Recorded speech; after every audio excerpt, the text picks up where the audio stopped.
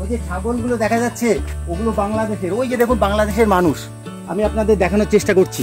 ওই যে দেখুন, বাংলাদেশের মানুষ হাঁটা চলা করছে। ওরা কিন্তু বাংলাদেশি।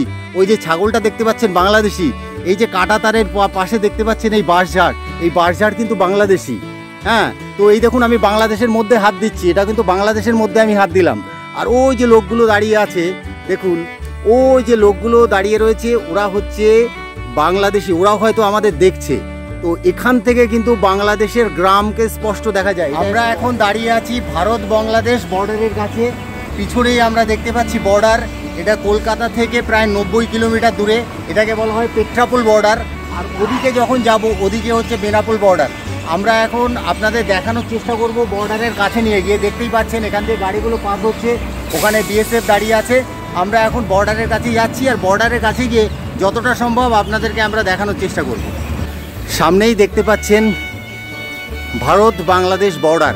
এটাই হচ্ছে এশিয়া মহাদেশের মধ্যে সব থেকে বড় স্থলবন্দর। বিএসএফ দাঁড়িয়ে আছে। সামনে বাংলাদেশ বর্ডার, ওদিকে বঙ্গবন্ধু মুজিবর রহমানের ছবি আপনারা দেখতে পাচ্ছেন। ওটা হচ্ছে বাংলাদেশ। আর এইটা হচ্ছে ইন্ডিয়া, এটা হচ্ছে আমাদের দেশ।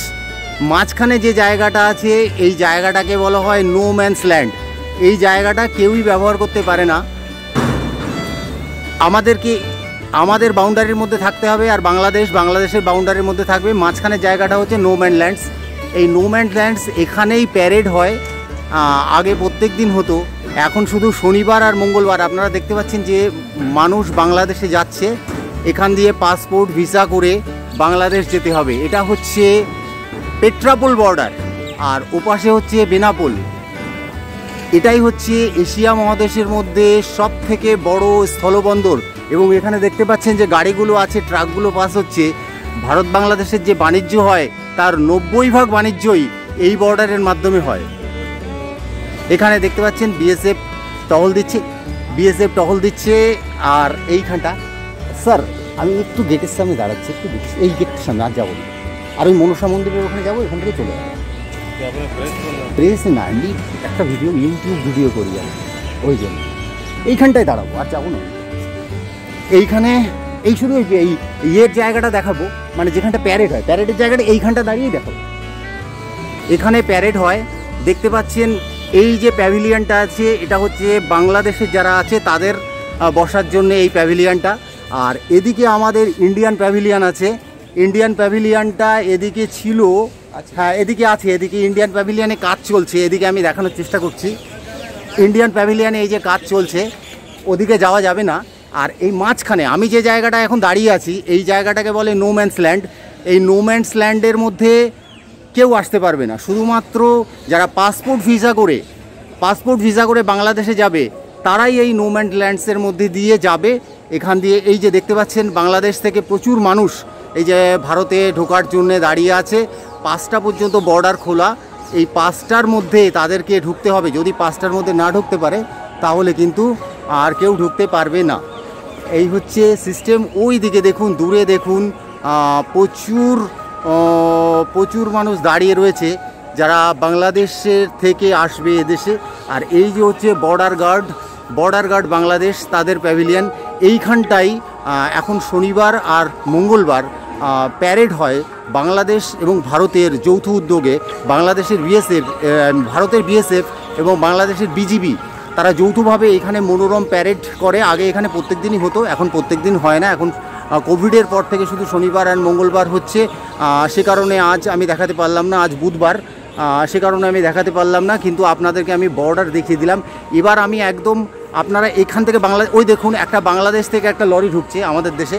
বাংলাদেশ থেকে একটা লরি আমাদের দেশে ঢুকছে। এইভাবে সারাদিনে হাজার হাজার ট্রাক বাংলাদেশ থেকে আমাদের দেশে আসে এবং আমাদের দেশ থেকে বাংলাদেশে যায়। এরকম কয়েক হাজার ট্রাক সারাদিনে পণ্য পরিবহন হয় এবং যত বাংলাদেশের সাথে ভারতের যে বাণিজ্য হয়, তার নব্বই ভাগ পণ্যই এই বর্ডার দিয়ে, এইখান দিয়েই নব্বই ভাগ পণ্য হচ্ছে এই যে লরিটা ঢুকছে। দেখুন যে পরিমাণ পণ্য পরিবহন হয়, তার নব্বই ভাগ পণ্য এই বর্ডার দিয়ে। কারণ এটাই হচ্ছে এশিয়ার সব থেকে বড় স্থলবন্দর। দেখতে পাচ্ছেন আমাদের দেশের আমাদের দেশের বিএসএফ দাঁড়িয়ে আছে, এখানে বিএসএফের ঘর।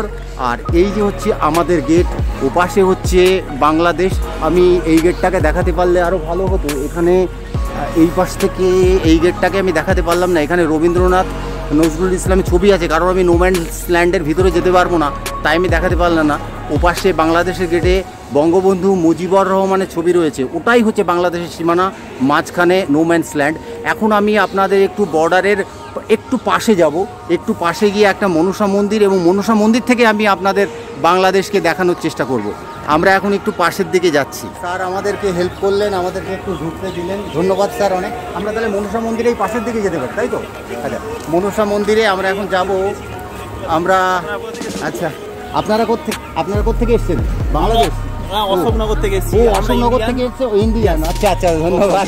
ঠিক আছে ধন্যবাদ। হ্যাঁ আমরা এখন আমরা এখন যাব মনসা মন্দিরের দিকে।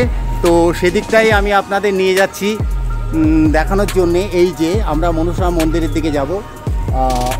এটা হচ্ছে এটা হচ্ছে বর্ডার সিকিউরিটি ফোর্সের অফিস এই অফিসের মধ্যে দিয়ে আমরা এখন যাব। এটা হচ্ছে বিএসএফ এর অফিস মনসা মন্দির? একটু মনসা মন্দিরে যাব। এই যে মনসা মন্দিরটা ওটা দেখতে যাব। অনেক বোঝানোর পরে আমাদের ছাড়লেন। এই যে আমরা যাচ্ছি ঠিক পাশে আপনাদের এখন আমি বাংলাদেশ পাশ থেকেও দেখাতে পারব যে এখানেই বর্ডারে এখানে একটা খুব জাগ্রত মনসা মন্দির আছে।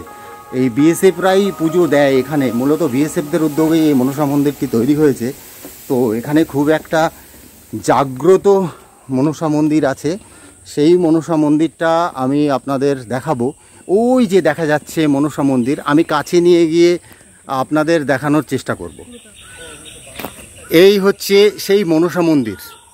আর মনসা মন্দিরের জাস্ট পিছনে যে বাঁশঝাড়গুলো দেখছেন, এগুলি সব বাংলাদেশের। এই যে বাঁশঝাড়টা দেখছেন, এই বাঁশঝাড়টা হচ্ছে বাংলাদেশের বাঁশঝাড়। দেখুন, আমি এই বাঁশঝাড়ের প্রায় তলায় এইখানে হচ্ছে বাংলাদেশের বাঁশঝাড় এই তোরা একটু ফোনটা ধর বিরু একটু ফোনটা ধর। বিরু একটু ফোনটা ধর এইভাবে এইভাবে না কাঁপে। ধর, হচ্ছে তো রেকর্ডিং হ্যাঁ। এই যে বাঁশঝাড় এই যে বাঁশ এই যে বাঁশটা আমি ধরলাম, এটা কিন্তু বাংলাদেশের বাঁশ এটা বাংলাদেশের বাঁশ দেখুন, এই যে এই যে বাঁশঝাড়টা এই যে কাটা ওই পাশটা হচ্ছে বাংলাদেশ। এদিকে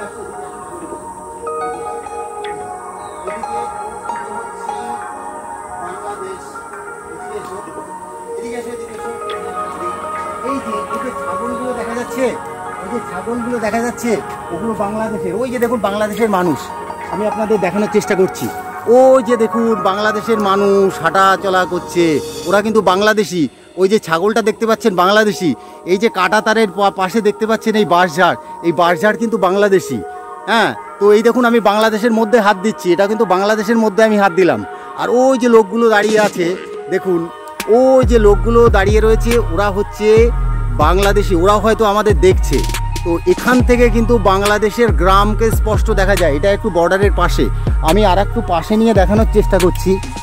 আমি আর একটু পাশে নিয়ে দেখানোর চেষ্টা করছি এদিকে এই যে বাঁশঝাড়, এদিকে বাঁশঝাড়, এদিকে দেখুন ওই যে বাংলাদেশ সামনে এই যে তার কাটা, এই যে তার কাটা, তার কাটার ওপাশেই বাংলাদেশ।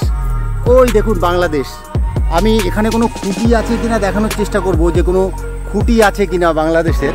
তো এখান থেকে আমি আর একটু পাশে যাওয়ার চেষ্টা করছি। এই যে বাংলাদেশের বাঁশঝাড় বাংলাদেশের বাঁশঝাড়, এই যে বাংলাদেশ, আমি হাতটা, এই যে তার কাটা আমি বাংলাদেশের মধ্যে ঢুকিয়ে দিয়েছি। এখন কিন্তু আমার হাত পুরো বাংলাদেশের মধ্যে। দেখুন, বাংলাদেশের মধ্যে এই কচুরি পানা, ওই যে লম্বু গাছগুলো দেখা যাচ্ছে, ছাগল দেখা যাচ্ছে, ছাগল দেখা যাচ্ছে, মানুষগুলো হয়তো চলে গেছে। এরা কিন্তু বাংলাদেশি। এই তার কাটা দিয়ে, এই তার কাটা দিয়ে এখানে বাংলাদেশ এবং ভারতকে আলাদা করা হয়েছে এই তার কাটার মাধ্যমে। এই দেখুন, এই ঝাড়গুলো সব বাংলাদেশের বাঁশঝাড়। এই যে বাংলাদেশের এদিক থেকেও আমি দেখানোর চেষ্টা করছি, এদিক থেকেও দেখানোর চেষ্টা করছি, এই যে বাংলাদেশের বাড়ি, এই যে কাটা তার, এই যে কাটা তার, ক্যামেরাটা একটু ধরো, ক্যামেরাটা একটু ধরো, ক্যামেরাটা একটু, এই যে এই যে কাটা তার এই কাটা তারের এপাশে আমি হাত দিলাম, এপাশে হচ্ছে বাংলাদেশ। আর ওই যে বাংলাদেশ, ওই যে টিনের ঘরগুলো দেখা যাচ্ছে। সবুজ রঙের টিনের ঘর, ওই যে ছোট একটা বসার জায়গা, ওই যে গামছাগুলো নাড়া রয়েছে জামা কাপড় নাড়া রয়েছে, ওগুলো কিন্তু সব বাংলাদেশিদের। তো এখানে এই যে গাছপালা থেকে শুরু করে সব কিন্তু এটা কিন্তু এটা কিন্তু বাংলাদেশ, পেট্রাপোল বর্ডারে পেট্রাপোল মূল যে বর্ডারটা তার একটু পাশে এসছি, এখানেই বাংলাদেশ। এখানেই কাটাতার, এখানে বিএসএফ এর সিকিউরিটি থাকে। যাতে কেউ এই কাটাতার ভেদ করে ওপাশে চলে না যেতে পারে। এবং আমাদের মতো অনেকেই দেখতে এসছে এখানে, মন্দিরের কাছে অনেকেই এসছে, অনেকেই আসে। তো এই জায়গাটা পুরো কাটাতার দিয়ে ঘেরা। দেখুন, এই জায়গাটা পুরো কাটাতার দিয়ে ঘেরা। ওদিকেও ওদিকেও যাওয়া যেতে পারে, ওদিকেও কাটাতার আছে।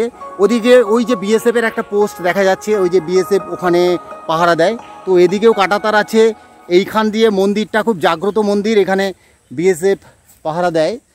তো এই হচ্ছে আমরা দেখিয়ে দিলাম আপনাদের বাংলাদেশ।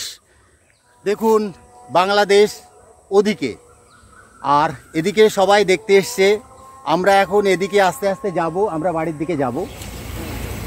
পিছনেই বর্ডার আমরা এখন বর্ডার থেকে আস্তে আস্তে হেঁটে হেঁটে বাড়ি যাওয়ার চেষ্টা করছি। এখানে ইন্টারন্যাশনাল বর্ডার এটা। পেট্রাপোল বর্ডার পেট্রাপোল বেনাপোল বর্ডার এটা কলকাতা থেকে প্রায় নব্বই, পঁচানব্বই কিলোমিটার দূরে। আপনারা চাইলে যশোর রোড, এটা যশোর রোড। এই যশোর রোড ধরে আসতেই পারেন। এই রোড কালীঘাটের থেকে শুরু হয়ে চলে গেছে একদম বাংলাদেশের যশোর অবধি। তো এইখানে দেখতে পাচ্ছেন, বাংলাদেশের বিভিন্ন কিছু যাচ্ছে, অফিস, এপাশেও বেশ কিছু দোকানপাট এগুলো আছে, সব। আর আমরা এখন যাচ্ছি আমাদের বাইকের কাছে। আমরা এখন বাড়ি যাব। যেটুকু পারলাম আপনাদের বর্ডার দেখানোর চেষ্টা করলাম। আজকের মতো এখানেই বিদায় নিচ্ছি। ভালো থাকবেন। যদি ভালো লাগে তাহলে একটা লাইক দেবেন কিছু বলার থাকলে কমেন্ট করবেন। আর অবশ্যই ভালো লাগলে সাবস্ক্রাইব করবেন। বাইক তো এখানে বাইকে স্টার্ট দেব। তো আবারও বলছি এই ধরনের ভিডিও আমি আরও আপলোড করব। যদি ভালো লাগে তাহলে অবশ্যই সাবস্ক্রাইব করবেন। আপনাদের একটা সাবস্ক্রাইবে অনেক অনুপ্রেরণা পাই। ধন্যবাদ। ভালো থাকবেন সকলে।